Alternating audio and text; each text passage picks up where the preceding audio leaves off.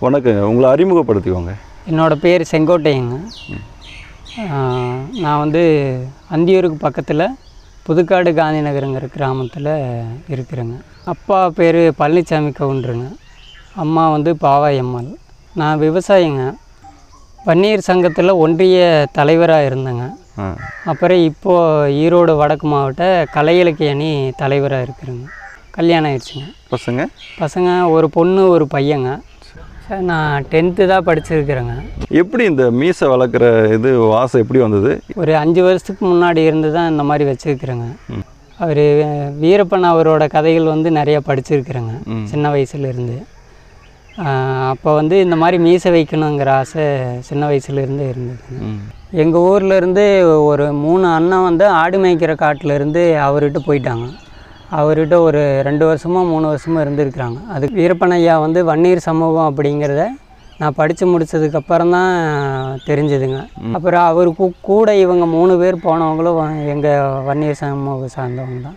அதனால் இப்போ நம்ம வன்னியர் சமூகத்தில் இருக்கிறவங்க தான் நம்ம வனத்தில் இருந்துட்டு வாழ்ந்துருக்குறாங்க அப்படின்னு இப்போ தெரிஞ்சதுக்கப்புறம் தான் நாம் அவர் மாதிரி இருக்கணும். அவரோட ரசிகராக தான் நான் இந்த மாதிரி மீசையெல்லாம் வச்சேங்க. ரொம்ப பிடிக்குங்க. தவறுகள் எவ்வளோ இருந்தாலும் நல்ல விஷயங்கள் வந்து பண்ணியிருக்காரு அப்படிங்கிறது எல்லோரும் சொல்கிறது கா தினமும் கேட்குறேங்க. இந்த பகுதியில் இருக்கிற மலைவாழ் மக்களோ அல்லது மற்ற மக்களோ வீரப்பனவர் அவர் வந்து மக்களுக்கு நல்லது தான் செஞ்சுருக்காரு அப்படின்னு அவங்க எல்லாரும் சொல்கிறாங்க நான் கேட்குறேங்க. அது ரொம்ப பிடிச்சிருக்குது அதனால தான் அந்த மாதிரியில் வச்சுருக்கிறேன். அவரோட புகழ் வந்து வெளியில் வந்து தெரியணுங்க.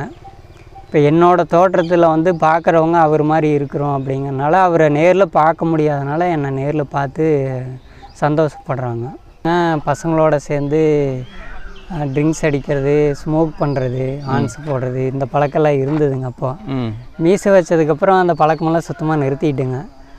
இப்போ இந்த மாதிரி இருக்கும்போது கடையில் போய் வாங்குறது அவர் மாதிரி இருந்துட்டு இந்த மாதிரி தப்பான விஷயங்களெல்லாம் பண்ணுறான் அப்படின்னு நம்ம யாரும் நினச்சிடக்கூடாது. அவருக்கு எந்த கெட்ட பேர் வரக்கூடாது இல்லைங்க. அதனால் இந்த பழக்கம் சுத்தமாகவே எல்லாம் நிறுத்திட்டுங்க. ஒருத்தருக்கு வாங்கி கொடுக்குறதும் இல்லைங்க. நானும் அந்த பழக்கம் வந்து வச்சுக்கிறதும் இல்லைங்க. மேடை நாடகத்தில் வந்து வீரப்பனாரோட அந்த கெட்டப்பில் வந்து பாட்டுக்கு நடனம் ஆடுவாங்க.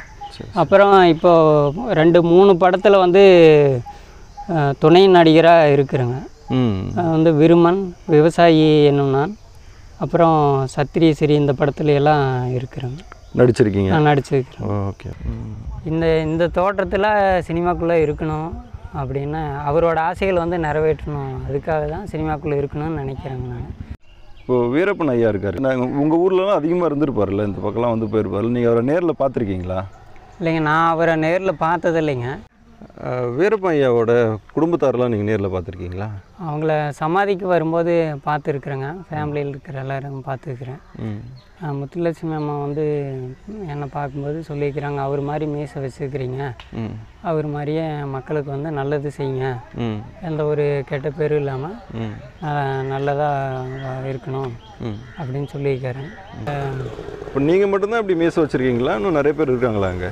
இருக்காங்க. அவரை மாதிரி மீசை வச்சு அவர் இன்ஸ்பயர் ஆகி. எனக்கு முன்னாடி இருந்து மீசை வச்சவங்கெல்லாம் ந வயசில் பெரியவங்கெல்லாம் நிறைய பேர் இருக்காங்க. ஒரு இரநூறு பேர் பக்கமாக வந்து இருக்கிறாங்க. சமாதிக்கு வரும்போது பார்த்துருக்குறாங்க.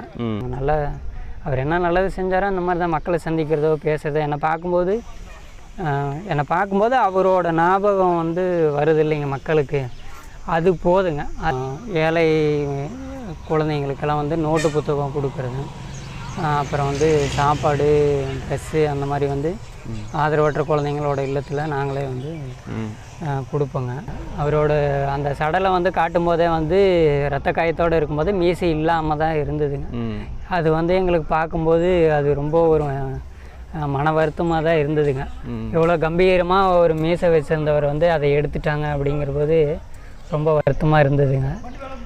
அந்த மீசையை வந்து அடையாளப்படுத்தணும் அப்படின்னு தான் இந்த மீசை வந்து நான் வச்சுருக்கிறேங்க. வெளியில் போகும்போதும் ஒரு நாற்பத்தெட்டு வயசு ஐம்பது வயசில் இருக்கிறவங்க என்னை பார்த்தாங்கன்னா அவருக்கு என்ன மரியாதையோ ஒரு வரவேற்போ அந்த மாதிரி தான் இருக்குங்க. ஒவ்வொரு கிராமத்துக்குள்ளே போகும்போதும் என்னை வந்து அவங்க என்ன செய்வாங்கன்னா சாப்பிட சொல்லுவாங்க. தண்ணி கொடுத்து ஏதோ ஜூஸ் ஏதாவது ஒன்று நீங்கள் குடிச்சிட்டு தான் போகணும் சாப்பிட்டுட்டு தான் போகணும் இப்போது இந்த மீசையால் உங்களுக்கு பிரச்சனைகளும் ஏதாவது இருக்கா?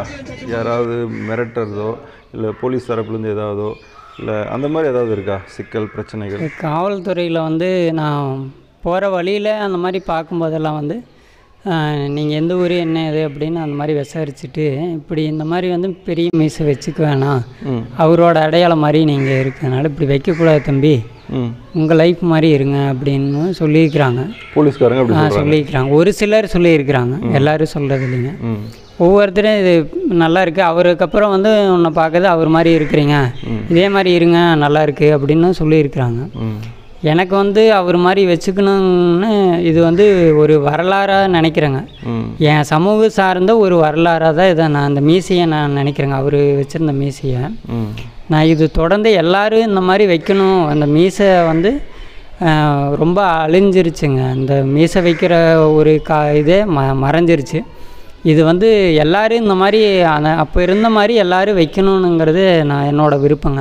ம். இப்போது அவரோட அவர் யார் எல்லாம் விரும்பி இருக்கிறாங்களோ அவங்க தான் வச்சுருக்கிறாங்க. வேறு யாரும் இல்லை. மற்ற சமூகத்தில் இருக்கிறவங்களும் கூட இந்த மாதிரி வைக்கிறது இல்லைங்க. நான் வெளியில் போகும்போது வரும்போதும் கூட வந்து நான் பொதுவாக தான் எல்லாரையுமே வந்து பார்க்குறேங்க நான் வந்து வன்னியூர் சமூக சார்ந்து இருக்கிறதுனால இப்படி வச்சுருக்கிறேங்கிற ஒரு அடையாளத்துக்காக இல்லைங்க. அனைத்து மக்களையும் நான் ஒரே மாதிரி தான் பார்க்குறேன். ஆனால் என்னை பார்க்கும்போது வந்து இவர் வன்னியர் சமூகம் சார்ந்தவராக தான் இருப்பார் அப்படிங்கிற மாதிரி ஒரு சில இடங்களில் வந்து நல்லா பேசுகிறவங்க கூட சரியாக பேசுகிறதில்ல அந்த மாதிரி இருக்குது அவர்கிட்ட என்ன மாதிரி வந்து ஒரு பாசமாக அன்பாக பேசுனாங்களோ பழகுனாங்களோ அதே மாதிரி எல்லாத்துக்கிட்டேயும் பேசணும். இப்படி வச்சதுனால அவர் ஒரு மாதிரி பார்க்குறது அது நல்லதாக இல்லை இல்லைங்க உங்களை வந்து கொஞ்சம் தனிச்சு ஆ பார்க்குறேன் தனிச்சு பார்க்குறாங்க. வந்து உங்ககிட்ட பேச ஒரு சிலர் வந்து நல்லா பேசி பழகுவாங்க. ஒரு சிலர் பேச கூட வந்து பயப்படுவாங்க. அந்த கெட்டப் இருக்கிறதுனால பயப்படுவாங்க. ஒரு சிலர் வந்து சமூக சார்ந்து பார்க்குற கண்ணோட்டம் இருக்கிறதுனால ஆ, இவர் வந்து கண்டிப்பாக ஒரு வன்னியராக தான் இருப்பார் அப்படிங்கிற மாதிரி பேசுறது இல்லை பழகுறது இல்லை எங்க கூட. அந்த மாதிரியே இருந்திருக்குது அந்த மாதிரி வன்னியர் சம்பவம்னா கொஞ்சம் வந்து ஏதோ ரொம்ப ஒரு கு குற்றமாக அந்த மாதிரி நினச்சி பார்த்துக்கிறாங்க.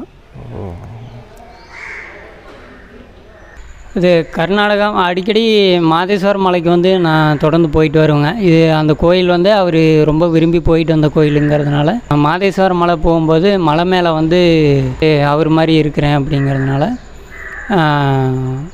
அங்கே வந்து நிறுத்திட்டு செக் பண்ணாங்க என்ன. எங்கேருந்து வரேன் என்னது அந்த டீட்டெயில் எல்லாம் கேட்டுட்டு நீங்கள் அவங்க ரிலேஷனா அவங்க பையனா அப்படிங்கிற மாதிரியெல்லாம் கேட்டாங்க. இல்லைங்க அவருக்கும் நம்மளுக்கும். அவங்க வந்து எங்களோட சொ சொந்தமாக இருக்கலாம். ஆனால் ரொம்ப நெருங்கின சொந்தமாகலாம் இல்லைங்க.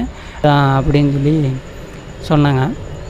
அப்போ வந்து ஒரு ரெண்டு மூணு மணி நேரம் மட்டும் அங்கேயே உட்கார வச்சுட்டாங்க. அதுக்கப்புறம் தான் வந்து என்னை அனுப்பி வச்சாங்க. இந்த மாதிரி மீசையெல்லாம் வைக்கக்கூடாதுன்னு சொல்லி தான் அங்கேருந்து அனுப்பி விட்டாங்க. உங்கள் மனைவி என்ன சொல்கிறாங்க உங்கள் ம மீசையை பார்த்து. மனைவி வந்து அப்போ வச்ச புதுசில் வந்து இந்த மாதிரி வைக்கக்கூடாது அப்படின்னு சொன்னாங்க. எங்கிட்ட சண்டையெல்லாம் கூட போட்டிருக்கிறாங்க. அப்புறம் இப்போ வந்து வெளியில் நான் அந்த நாடக மேடை நாடகமெல்லாம் போயிட்டு வரேன் இல்லைங்க ம். இது நல்லா இருக்குது தொடர்ந்து வைங்கன்னு கூட எங்கள் சொந்த பந்தமெல்லாம் சொல்கிறதுனால அப்புறம் இது இப்போ அவங்க எதுவும் சொல்கிறது இல்லைங்க. உங்கள் அப்பா அம்மாவும் ஒன்றும் பிரச்சனை இல்லை இல்லையா? ஆமாங்க. அவங்களும் ஆரம்பத்தில் இப்படி தான் வைக்கக்கூடாதுன்னு சொன்னாங்க. அதை வைக்கவே கூடாதுன்னு சொன்னாங்க. தூங்கும்போது கூட வெட்டி விட்ருவேன் அப்படின்னு கூட சொல்லிக்கிறாங்க யார்? அப்பா அம்மாவெல்லாம் கூட சொல்லிக்கிறாங்க தூங்கும்போது வெட்டிடுவேன்டா அப்படின்னு.